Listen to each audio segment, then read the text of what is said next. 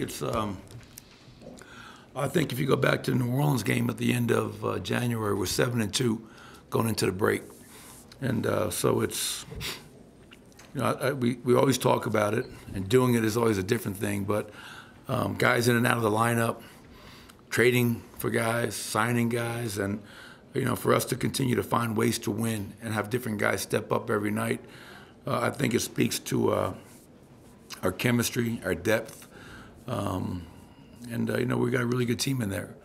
Uh, my message to them is simple: coming out of the break, 23 games to go. Enjoy some time away. Make sure you do something. Be safe. And uh, the 23 games after the break are not going to be easy, uh, starting with a two-game road trip in Cleveland and Memphis. But it's been a hell of a season to this point the, the biggest challenge is not being satisfied, you know, staying hungry and staying motivated. How would you compare where you guys are now compared to this time last year? I know it's radically different. I can't remember this time last year, Jack. I mean, you know, last year I don't think we were in first place by five games or whatever it is. Um, I think if you look at our record against teams in the top six in the West, we have the best record against the, the top six teams. Obviously, we're one, so there's five other teams in that group. So now we're nine and three, I think, against those teams, which shows that you're beating some of the best teams in the league. I love the fact that, you know, a point of emphasis in San Diego was protecting our home court. You know, a point of emphasis in San Diego is becoming a better running team. And those are two things that we have the best home record in the NBA. 27 and 4, I believe, uh, which is tremendous. And we're a top four running team. We had 19 fast break points tonight, um, and I just like I, I, just love how we play. Like I love I'm, I'm a coach, but I'm also a fan of the game. And you know, 34 assists, the ball pops, everybody plays for each other, and um, you know, it's it's it's just a great group to be a part of. Coach, two questions. One, what can you say about Jeff Green's night? And two, are you going to lose your voice in Salt Lake City? I'm trying to find it before I get there because I'm going to be yelling a lot at those guys trying to get a dub. um, you know, I, I, I, think I think Jeff, like uh, I was joking with him. I don't know if he like Ponce de Leon for you history people out there. I don't know if he found the Fountain of Youth down in Florida or not, but he's. I thought he was great against Miami. I thought he was great tonight. Uh, usually, when I get Vlatko back in the game in the fourth quarter, it's usually for Jeff. And I thought Jeff was just doing a great job, so I get Vlatko in for CB um, who also is just playing at a high level for a rookie on a really good basketball team. But uh, yeah, Jeff tonight, um, he wasn't shy. He got him up. I guess you know what I mean. Got him up. But uh, 24 points and uh, had a lot of you know playing off of Nikola, cutting, chase down block. We gave out two chains tonight. Um, it's getting like little league soccer. Everybody gets a chain after a win.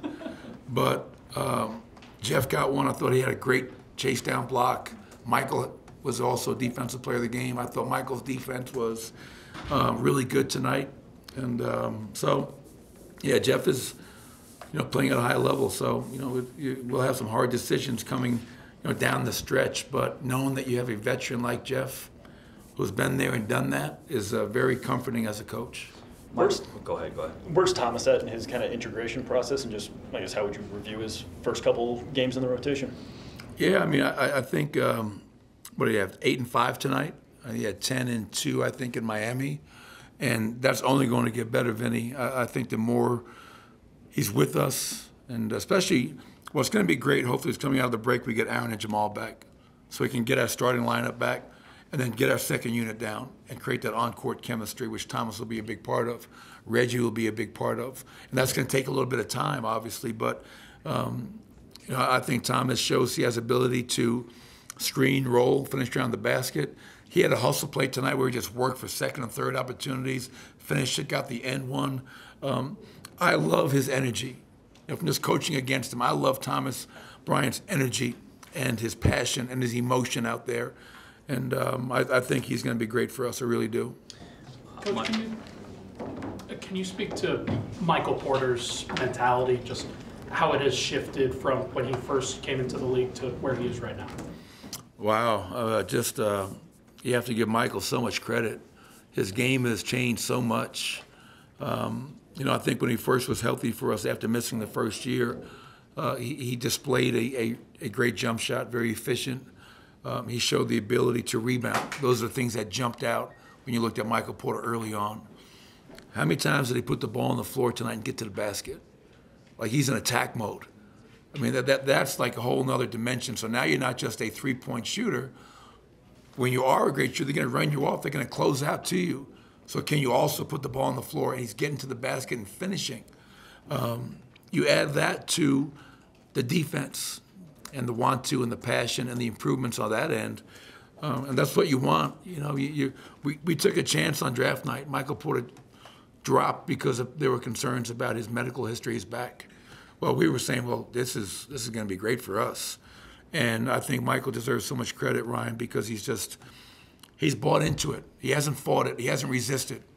You know, I mean, he's he's a young player who's constantly getting better and improving, and that's what you want from all your players, whether it's the MVP, Michael Porter, or whoever. You know, you you want guys that are hungry and motivated to improve.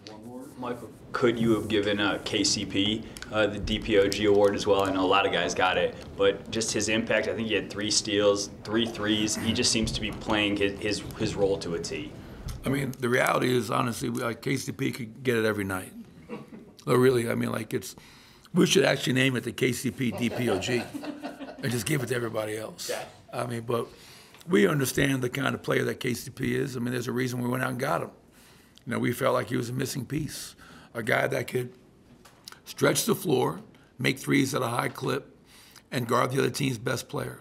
I mean, and he had a steal tonight, and just some of the plays that he makes. You can you can see why when he was in high school he was a highly uh, sought after football player. The guy just has a tremendous feel for the game, athleticism, anticipation.